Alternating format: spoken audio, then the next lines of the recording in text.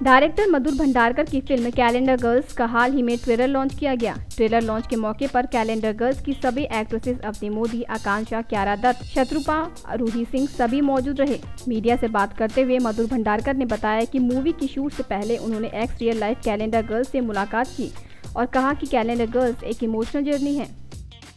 कहीं जो x calendar girl है, उनसे मेरी मुलाकात हुई, उनसे बातचीत की कहीं गुमनामी के जगह में वो चले गई है कई लड़कियाँ। तो मेरे ख्याल से वो इंटरेस्टिंग एस्पेक्ट था, क्योंकि हर साल देखता है एक प्लेटफॉर्म होता है, एक साल के लिए जो कैलेंडर गर्ल होती है, उसका जो फेम रहता है, जब दूसरे साल दूसरी लड़कियाँ आती है तो उसका फेम खत्म हो जाता है। तो मेरे ख्याल से वो अपने आप में अच्छी बात है कि एक साल के बाद ये लड़कियों का होता क्या है, कहाँ चले जाती है गुमनामी में, या कहीं कहीं ऐसी लड़कियाँ मुझे मिली जिन्होंने प्रोफेशन ही चेंज कर दिया मॉडलिंग वर्ल्ड चेंज कर दिया, वो, या कैलेंडर गर्ल जो थी अलग दुनिया में चलेगी। तो मेरे ख्याल से वो इंटरेस्टिंग था।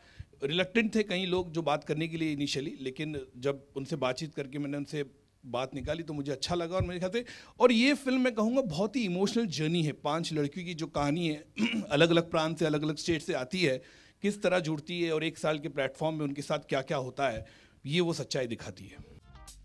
हॉट अवनी मोदी ने बताया कि किस तरह मधुर भंडारकर ने उन्हें उनका रोल दिया। अवनी ने मधुर भंडारकर की तारीफ़ करते हुए कहा कि मधुर के साथ काम करना उनकी खुशनसीबी है।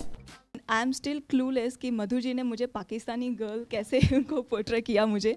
Because when he saw me and when he call me for the audition and when I gave the audition and then he narrated me the subject ऐसे कि पाकिस्तानी लड़की है। And I was turn set Pakistan से मेरा कोई दूर दूर का कनेक्शन नहीं है।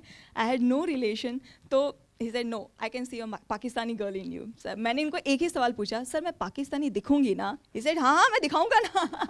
So he was so confident about me और working with Madhu ji I just want to say one thing कि जिस भंडारकर एंटरटेनमेंट में काम करने के लिए बाकी एक्ट्रेसेस को सुपरस्टार बनना पड़ा, वहाँ पे हमें हमारा डेब्यू फ़िल्म मिल रही है।